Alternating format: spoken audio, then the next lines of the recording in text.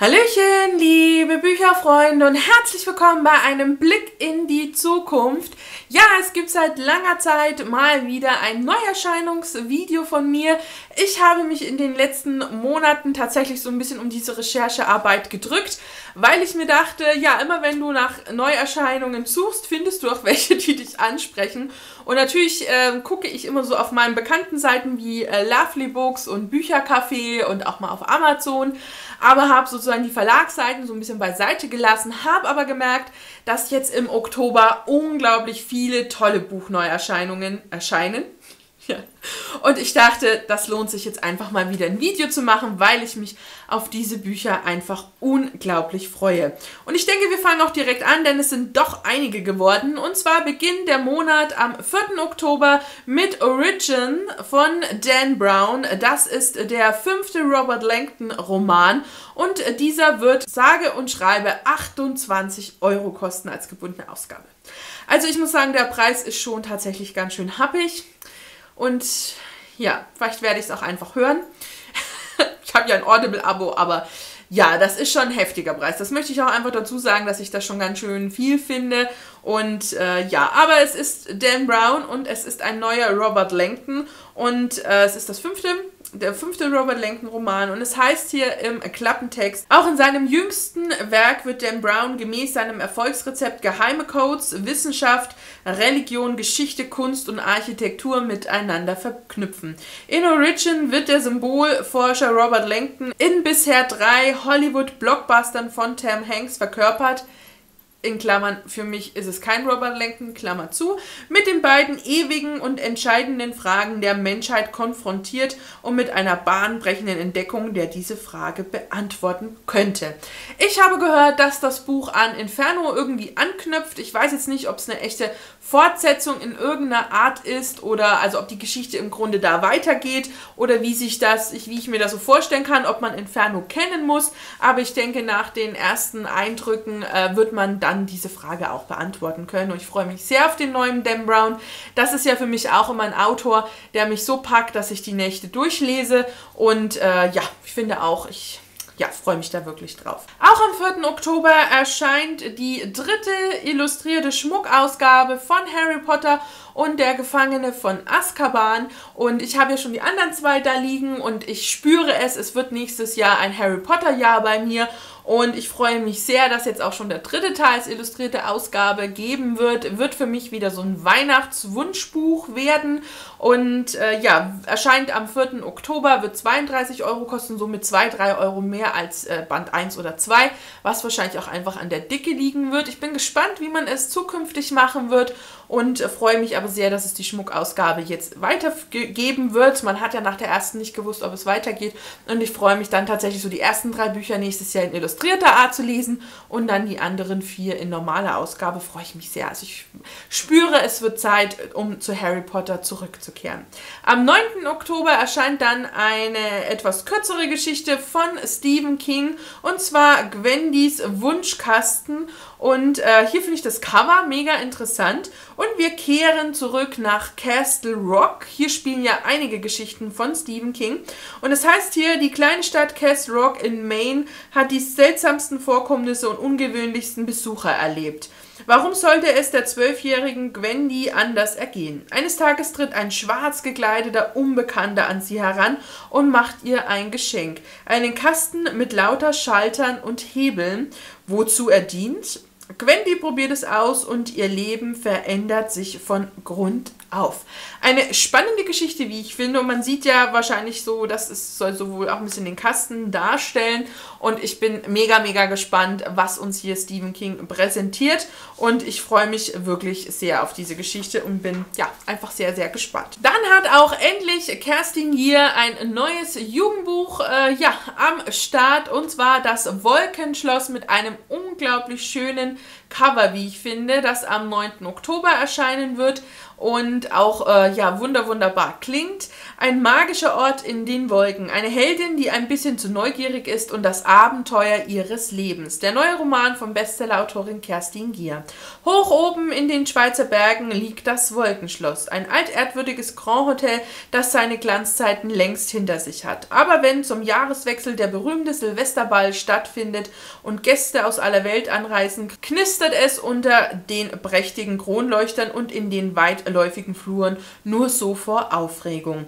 Die 17-jährige Fanny hat wie der Rest äh, des Personals alle Hände voll zu tun, den Gästen einen luxuriösen Aufenthalt zu bereiten. Aber es entgeht ihr nicht, dass viele hier nicht das sind, was sie vorgeben zu sein. Welche geheimen Pläne werden hinter bestickten Samtvorhängen geschmiedet? Ist die russische Oligarchengattin wirklich im Besitz des legendären Nadjeschka-Diamanten? Und warum klettert der gut aussehende Tristan lieber die Fassaden hoch, als die Treppe zu nehmen? Schon bald steckt Fanny mittendrin in einem lebensgefährlichen Abenteuer, bei dem sie nicht nur ihren Job zu verlieren droht, sondern auch ihr Herz.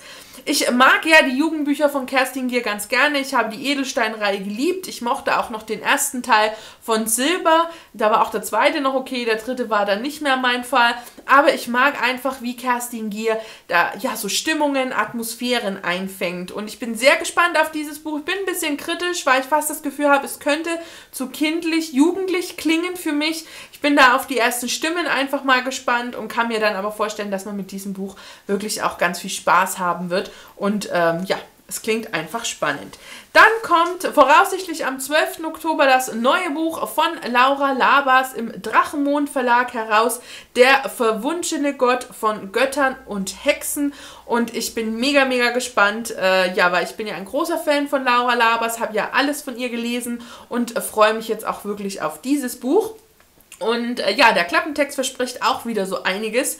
Morgen Verpassian verdient sich ihren Unterhalt als Schmugglerin. Seit sie vom Alpha-Wolf der Schmuggler entführt wurde, ist sie dazu verdammt, ihre Lebensschuld abzuarbeiten. Während eines Auftrags wird sie verraten und gerät zwischen die Fronten eines vergessenen Prinzen und eines verfluchten Gottes, die auf der Suche nach einem verwunschenen Schloss sind. Morgen muss sie schon bald für eine Seite entscheiden und bestimmt mit ihrer Wahl das Schicksal des gesamten Königreichs. Ich äh, kann mir wirklich vorstellen, dass Laura Labas aus diesem toll klingenden Klappentext wieder etwas ganz Wunderbares gezaubert hat. Das Cover ist ein Traum und ich freue mich wirklich sehr auf dieses Buch, was eben so zur Buchmesse um den 12. Oktober erscheinen soll. Und ich ja, denke, dass das Buch auch ganz schnell äh, bei mir einziehen wird und optisch ist es auch einfach ein absoluter Traum. Ein Buch, das am 13. Oktober erscheinen wird, ist Illuminé, die Illuminé-Akten, der erste Teil von Amy Kaufman und Jay Christoph. Ein Buch, das nicht nur vom roten Cover für Aufmerksamkeit sorgt, sondern wohl auch in der Art, wie es geschrieben ist, denn es ist nicht einfach ein Roman oder irgendwas, sondern eine Mischung aus vielen Stilen und es klingt einfach unglaublich spannend. Und zwar heißt es hier direkt auch, dieses Buch definiert Lesen neu. Heute Morgen noch dachte Katie, das Schlimmste, was ihr bevorsteht, ist die Trennung von ihrem Freund Esra. Am Nachmittag dann wird der Planet angegriffen. Katie und Esra verlieren sich bei der Flucht und gelangen auf unterschiedliche Raumschiffe. Doch die Fliehenden werden immer noch von dem feindlichen Kampfschiff verfolgt. Und damit nicht genug. Ein Virus, freigesetzt bei dem Angriff mit biochemischen Waffen, mutiert mit grauenhaften Folgen. Und dann ist da noch Aiden, die künstliche Intelligenz der Flotte, die von Raumtemperatur über Antrieb bis Nuklearwaffen alles an Bord steuert. Leider nur ist Aiden bei dem Angriff außer Kontrolle geraten und übernimmt nun das Kommando. Amy Kaufman kennt man aus der Reihe um These Broken Stars. Hier habe ich den ersten Band gelesen und fand ich wirklich sehr, sehr gelungen. Ich weiß gar nicht, warum ich da nicht weitergelesen habe. Ich glaube, weil es es dann nicht mehr als Hörbuch bei Audible gab. Das könnte der Grund gewesen sein.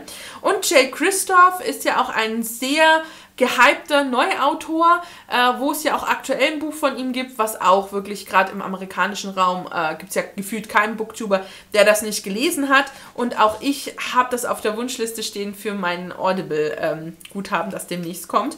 Ich finde, das Buch klingt spannend. Ich liebe Science Fiction und ich finde einfach so die Idee, was dahinter steckt, klingt einfach großartig. Und dann soll dieses Buch eben nicht in klassischer Erzählform erzählt sein, sondern eben auch mit Interviews bespickt sein und mit Tagebuch Buch und mit sonstigen Dingen und es soll einfach großartig sein und ich freue mich da wirklich unglaublich drauf, weil es einfach mal nach was anderem klingt.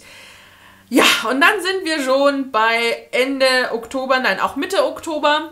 Ich glaube auch wieder so um den 20. Oktober herum ist ja ein klassisches Erscheinungsdatum für Sebastian Fitzek. Ja, der zweite Fitzek in diesem Jahr und zwar Flugangst 7a und ich glaube, ich muss nicht mehr viel sagen. Ich bin ein großer Sebastian Fitzek-Fan, auch wenn nicht alle seine Bücher für mich Fünf-Sterne-Bücher sind. Ist es doch ein Autor, auf den ich mich immer verlassen kann, dass er mich gut, wenn nicht gar perfekt unterhält. Und so auch bei Flugangst 7a. Ein Buch, das ich nicht vor meinem Urlaub, glaube ich, lesen werde, wo wir ja fliegen werden. Dementsprechend wird das Buch dann erst gelesen, wenn ich wieder heil, hoffentlich am Boden angekommen bin. Und äh, ja, man merkt, dass er nach Passagier 23 eben auch wieder so eine nächste Angst aufgreift, nämlich das Fliegen. Und das heißt hier, es gibt eine tödliche Waffe, die durch jede Kontrolle kommt. Jeder kann sie un gehindert an Bord eines Flugzeugs bringen. Ein Nachtflug. Buenos Aires, Berlin. Ein seelisch labiler Passagier und ein Psychiater, der diesen Passagier dazu bewegen soll, die Maschine zum Absturz zu bringen. Sonst stirbt der einzige Mensch, den er liebt. Der neue Psychothriller vom Bestsellerautor Sebastian Fitzek in der Tradition vom Passagier 23 spielt er mit den menschlichen Urängsten des Eingeschlossenseins und der Hilflosigkeit an Bord eines Flugzeugs. Ja, also ich fliege unglaublich gerne. Ich habe da keine Angst, keine Beklemmung. Ich genieße das Fliegen. Ich liebe es, wenn man abhebt und alles unter einem kleiner wird und sozusagen auch die Probleme klein sind. Und ich liebe es auch, wenn man landet und man merkt, man ist eben an einem Ziel angekommen. Natürlich ist auch immer der Weg das Ziel. Und ja, deswegen werde ich dieses Buch auch erst nach meinem Urlaub lesen, weil ich mir mein wunderbares Gefühl nicht lähmen lassen möchte, was ich beim Fliegen habe. Und ähm, ja, wir gucken mal, ne, wie mich dann dieses, äh, dieser neue Fitzek äh, auch begeistern kann. Dann wird es den dritten Band zur der Chroniken der Verbliebenen geben, die Gabe der Auserwählten. Der erste Teil hier war ja Kuss der Lüge, dann das Herz des Verräters und ich bin ein großer Fan der Reihe von Mary E. Pearson. Ich möchte jetzt gar nicht zu viel vom dritten Teil verraten, aber es ist eben einfach ein Buch, auf das ich mich unglaublich freue. Ich mich freue, dass es so schnell in dieser Reihe vorangeht. Man hat hier ja, glaube ich, wirklich alle vier Monate den nächsten Band. Und man hat den äh, dritten Teil im Englischen jetzt eben auf drei Teile in Deutsch aufgeteilt, was ich ein bisschen schade finde, aber so hat man eben nicht nur eine Trilogie, sondern eben noch einen vierten Teil. Und ich denke mal, wenn wir in dieser Manie dieser vier Monate bleiben, wird es im Februar voraussichtlich dann ja auch den äh, vierten und abschließenden Teil geben. Und wir haben hier in, ja im Grunde Yamia, eine Königinnen-Tochter, die äh, gezwungen sein sollte, jemanden zu heiraten, nämlich den Prinzen des äh, etwas ja, verfeindeten Königreichs. Sie aber kurz vor ihrer Hochzeit flieht und dann eben vom Königssohn und von einem ähm, ja, Attentäter verfolgt wird und wir eben im ersten Teil ähm, ja nicht wissen, wer ist der Königssohn, der Prinz, wer ist der Attentäter, wir eben diesen Perspektivwechsel haben haben, zusammen mit dem von mir und äh, von Lia, entschuldigt, das ist ja Lia, nicht mir, genau, Lia. Und äh, wir in Lias äh, Perspektive eben schon ähm, auch die, die, die, ja, die erfundenen Geschichten der beiden Männer sozusagen erfahren, aber nicht darauf irgendwie Rückschlüsse ziehen können, wer was ist. War ein ganz toller erster Teil, ein spannender zweiter Teil und ich bin mega gespannt und bei diesem schönen Cover äh, muss ich wirklich sagen, freue ich mich dann natürlich auch auf den dritten Teil. Und das letzte Buch, äh, das mich total anspricht, erscheint dann auch am 26. Oktober und ist Bird and Sword, ebenfalls Band 1 einer neuen Reihe von Amy Harmon. Und ich war total verwundert bei der Autorin, weil die ja vorher so klassische Frauen-Lebens-Liebesgeschichten geschrieben hat. Und ich jetzt sehr gespannt war, was sie hier zaubert. Denn der Klappentext klingt wirklich mega. Ein Mädchen ohne Stimme, ein König in Ketten, ein Königreich, das kurz vor dem alles entscheidenden Krieg steht. Lark ist fünf Jahre alt, als ihre Mutter vor ihren Augen hingerichtet wird. Ihre letzten Worte sind Still, Tochter, bleib am Leben. Womit sie Lark sowohl die Fähigkeit nimmt zu sprechen, als auch die Möglichkeit, ihre Magie einzusetzen. Eine Todsünde im abergläubischen Jeru. 13 Jahre verbringt das Mädchen daraufhin am Hof ihres Vaters, der sich für sie schämt und sie wie ein Vogel im goldenen und sie wie ein Vogel im goldenen Käfig hält. Lag wünscht sich nichts sehnlicher, als endlich frei zu sein. Das bittet König Tiras von Jeru ihren Vater um Unterstützung im bevorstehenden Krieg. Um sicherzugehen, dass dieser sich an die Abmachung hält, nimmt der König Lag als Geißel mit in sein Schloss. Zunächst fürchtet sich Lag vor Tiras, doch sie merkt schnell, dass er der Einzige ist, der sie auch ohne ihre Stimme verstehen kann. Eine fesselnde Fantasy-Geschichte über die Magie und die Macht der einen großen Liebe von New York Times und USA Today Bestseller-Autorin Amy Harmon. Eine Geschichte, die mich direkt anspricht, packt und da mein Fantasy-Herz da definitiv höher schlägt, bin ich mega, mega gespannt auf die Geschichte und freue mich wirklich sehr darauf und finde auch, das Cover sieht unglaublich toll aus. Wie ihr seht, wird es im Oktober so einige Neuerscheinungen geben, die mich ansprechen, die auch gefühlt direkt gelesen werden müssen und ich denke auch im Oktober oder dann November bei mir einziehen werden. In welcher Form, vielleicht das eine oder andere tatsächlich als Hörbuch oder dann eben E-Book, echtes Buch, wie auch immer, werdet ihr natürlich dann jeweils in den Neuzugängen sehen oder natürlich dann in den Bücherwochen, wenn sie auch gelesen sind. Es ist ein wirklich sehr spannender Büchermonat. Man merkt schon, dass eben auch Buchmesse ist und ich bin mega gespannt auf die Bücher. Ich hoffe, ihr hattet jetzt ein bisschen Spaß mit den Büchern, die ich herausgesucht habe. Natürlich würde mich jetzt interessieren, welche Bücher ihr so im Auge habt für den Oktober oder ob euch jetzt eines meiner Bücher oder eines meiner vorgestellten Bücher euch auch irgendwie anfixen konnte. Schreibt mir das gerne in die Kommentare. Ich bin sehr, sehr neugierig, auch was euch so interessiert. Hoffe, ihr hattet Spaß mit meinem Video. Wünsche euch nun noch einen schönen Tag, einen schönen Abend und bis zum nächsten Video. Tschüss, eure Steffi.